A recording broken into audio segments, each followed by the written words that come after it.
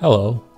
This time I'd like to talk about Convert to Keyframe Advanced. Never forget that you can always open the help file and click on an item which interests you to find the latest information from our website. Convert to Keyframe Advanced converts selected frames to keyframes. It preserves simple and custom easing and classic tweens when keyframes are created in the middle of an existing tween.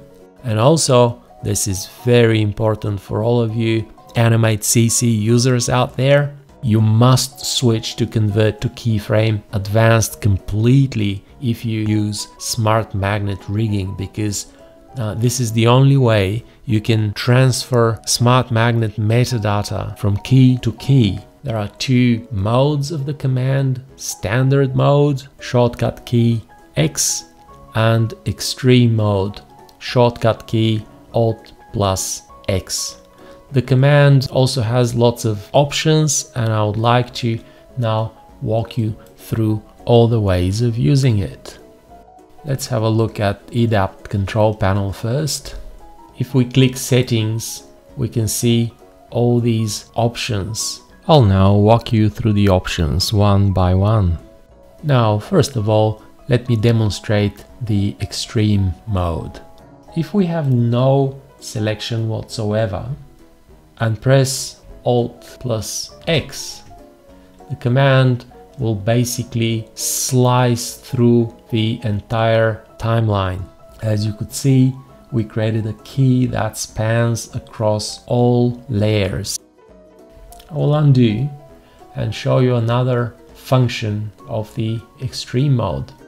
If we have a single selected frame or could be a range of frames on a single layer which is nested inside a folder. As you can see there's this folder called robot and it contains the robot bits and pieces.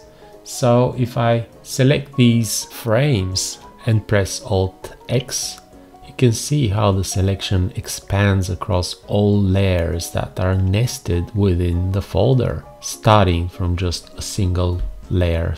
Normal mode is just X. If you would like to just create some keys the way you would uh, by using the F6, you can make a selection, then press X and you will get exactly the same result. But if you say you nest your character inside a folder, you don't really need to make a selection like this. All that you need to do is target the folder layer and press X. The command will slice through the contents of all the nested layers. Okay, so how about if we would like to skip some layers? There are several different options. Just something else that you might have not noticed yet. There's a quick way of accessing EDAPTool settings by pressing F12. F12 will open the options for the last used EDAP command. Okay, I would like to point your attention towards two options to skip layers. One would be exclude locked layers and the other one would be to use a keyword. If you would like to temporarily exclude a layer and maintain um, extreme flexibility of what you're excluding and what you're not excluding, you should probably go for this option, exclude locked layers. If I say OK and lock a random number of layers and then press X, you will see how keys were not created for these layers. In certain situations this is very very handy. In some other situations it may not be what you need. So the other option would be, as we could see here, using a keyword. You can type in your own keyword.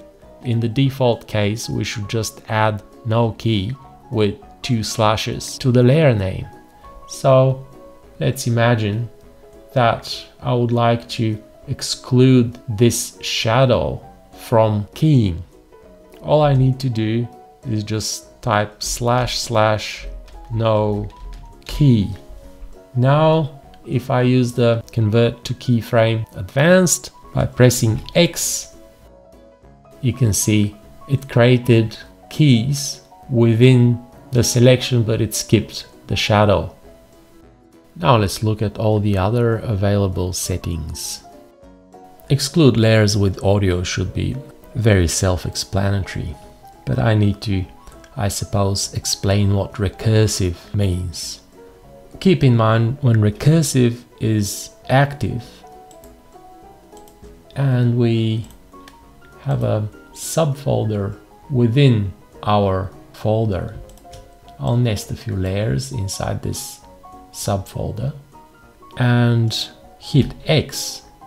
You can see it goes recursively within the nested folder and keeps slicing through the layers.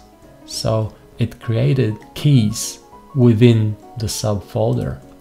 Now I'll switch recursive off and press X. Okay, the content of this folder is now protected as you could see. We skipped all the layers that were nested inside the subfolder. So this is another way possibly of protecting your layers. One more important thing, even if a layer is protected by a no keyword, if you specifically select a particular frame and press X, the protection will be overridden and you will get a key. The last thing I would like to show you is how Convert to Keyframes Advanced preserves easing in classic tweens. So I'll create a classic tween with an ease out of 100. You can clearly see how the in-betweens are getting closer and closer towards the second key. If I choose the default flash convert to keyframes, what it does, it basically breaks the tween. It changes the positioning of everything.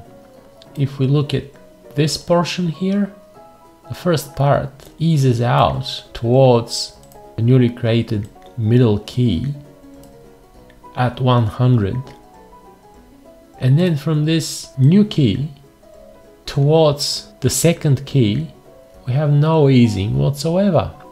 So it just breaks the flow of this animation and we can't really use this to add a breakdown. Undo. And instead of using the default, I'll use convert to keyframe advanced. Now pay attention this became more prominent because it was converted to a key, but no change in the placement of all those in-betweens happened, so the character of the movement is completely preserved. If we look at the graph here, it starts slowly and then in the second part it eases out. Now we can use this new key properly as a breakdown position to get some overlap. Splitting tweens will work even with S-curves such as ease in and ease out for example.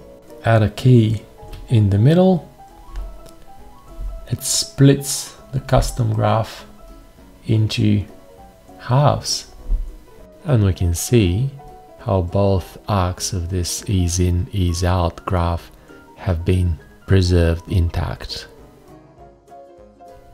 I think that covers everything.